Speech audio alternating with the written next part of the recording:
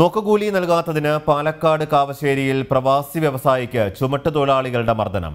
കഴിഞ്ഞി ചുങ്കത്തെ A D associates ഉടമ ദീപക്കിനാണ് മർദ്ദനമേറ്റത്. C I T U I N T U C തൊഴിലാളികളാണ് മർദ്ദിച്ചത്. കഴിഞ്ഞ ദിവസം വൈകുന്നേരം സ്ഥാപനത്തിലേക്ക് വന്ന പൈപ്പും ഷീറ്റും ചുമട്ട് തൊഴിലാളികൾ ഇറക്കാനായി തീരുന്നില്ല സ്ഥാപന ഉടമകൾ ചുമട്ട് ചുമട് ഇറക്കിയതിനെ തുടർന്ന് തൊഴിലാളികൾ നോക്കുകൂലി ആവശ്യപ്പെടുകയായിരുന്നു.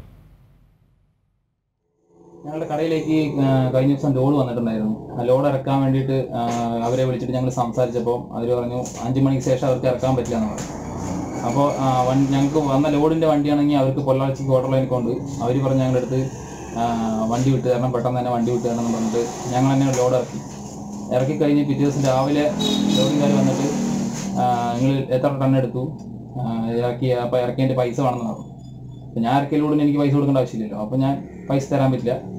ഞാൻ ഇറക്കിയതിലൂടെ നിങ്ങൾക്ക് പൈസ പറഞ്ഞു അതിന് അത് പറഞ്ഞ് കുറച്ച് നേരം കഴിയുമ്പോഴേക്കും അവരെല്ലാവരും കൂടെ വന്ന് ഫുൾ അടിയായിരുന്നു. ഇവിടെ കഴുത്തിൽ ഇവിടെ ഇവിടെ മൊത്തം അടിയായിരുന്നു. പിന്നെ കടയിലെ കട പൂട്ടി ഞങ്ങളെ വെളിയിലിറക്കി വെളിയിൽ ചീത്തയും അടിയും കാര്യങ്ങളൊക്കെ ആയിരുന്നു.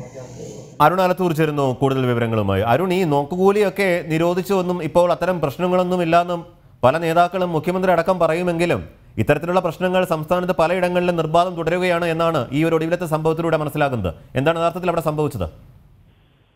തീർച്ചയായും കിഷോറെ കഴിഞ്ഞ ദിവസം വൈകിട്ടോടുകൂടിയായിരുന്നു ഇത്തരത്തിൽ ഈ ഒരു എ അസോസിയേറ്റ്സ് എന്ന സ്ഥാപനം നടത്തുന്ന ഷീറ്റും മറ്റു പൈപ്പുകളുമെല്ലാം വിൽപ്പന നടത്തുന്ന സ്ഥാപനത്തിൽ ഒരു ലോഡ് പുറത്തുനിന്നും വരുന്നത് തുടർന്ന് ഈ ലോഡ് ഇറക്കുന്നതിന് ഈ വ്യവസായികൾ ലോഡിംഗ് തൊഴിലാളികൾ ചുമട്ട് തൊഴിലാളികളോട് ആവശ്യപ്പെടുന്ന സാഹചര്യം ഉണ്ടായിരുന്നു.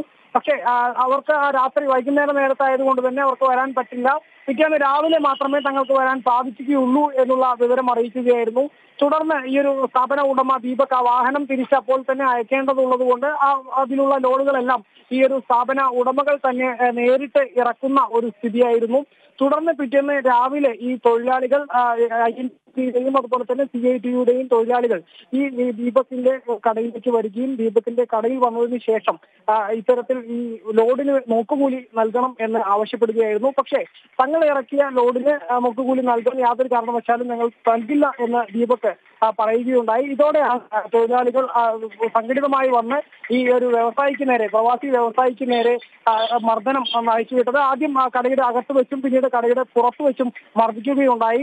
ഇവർ ആറു മാസം മുൻപാണ് ഈ ഒരു സ്ഥാപനം തുടങ്ങിയിരിക്കുന്നത്. ഗൾഫിലെയും മറ്റും സാമ്പത്തിക മാന്യം ഉൾപ്പെടെയുള്ള പ്രശ്നങ്ങളെ തുടർന്ന് നാട്ടിൽ വന്ന് ഈ രണ്ട് പ്രവാസികൾ ചേർന്ന് ഒരു സംരംഭം തുടങ്ങിയതാണ്. പക്ഷെ അതിനു നേരെയാണ് ഇത്തരത്തിലൊരു ആക്രമണം ഉണ്ടായിരിക്കുന്നത്. ഈ തൊഴിലാളികളെ സംബന്ധിച്ച് അല്ലെങ്കിൽ ഈ ഒരു ഉടമസ്ഥരെ സംബന്ധിച്ചിടത്തോളം വലിയ വിറ്റുവരവോ മറ്റൊന്നുമില്ല. അവർ ചെറിയ രീതിയിൽ സ്ഥാപനം ആരംഭിച്ച് അവർ കട ഏക- ഏകദേശം പച്ച പിടിച്ച് വരുന്നേ ഉള്ളൂ. അതിനുള്ളിലാണ് ഇത്തരത്തിൽ നിസ്സാര കാര്യങ്ങൾക്ക് പോലും മർദ്ദനവും മറ്റുമെല്ലാം അഴിച്ചുവിട്ടിരിക്കുന്നത് എന്നുള്ള ഒരു ആരോപണമാണ്. ഏതായാലും ഈ ഒരു ഉടമസ്ഥർ ശക്തമായ നിലപാടിൽ തന്നെ കേസും മറ്റുമെല്ലാമായി മുന്നോട്ട് പോകുമെന്നുള്ള ഒരു നിലപാടിൽ ഉറച്ചു നിൽക്കുന്ന സാഹചര്യമാണ്.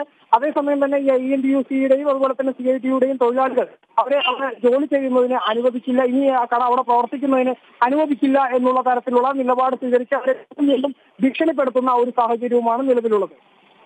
ശരി അരുൺ. പാലക്കാട് കാവശ്ശേരിയിൽ നോക്കുകൂലി നൽകാത്തതിന് പ്രവാസി വ്യവസായിക്ക് ചുമട്ടുതൊഴിലാളികളുടെ മർദ്ദനം. കഴനി ചുങ്കത്തെ എ ഡി അസോസിയേറ്റ്സ് ഉടമ ദീപക്കിനാണ് മർദ്ദനമേറ്റത്. വിവരങ്ങൾ നൽകുകയായിരുന്നു അരുൺ.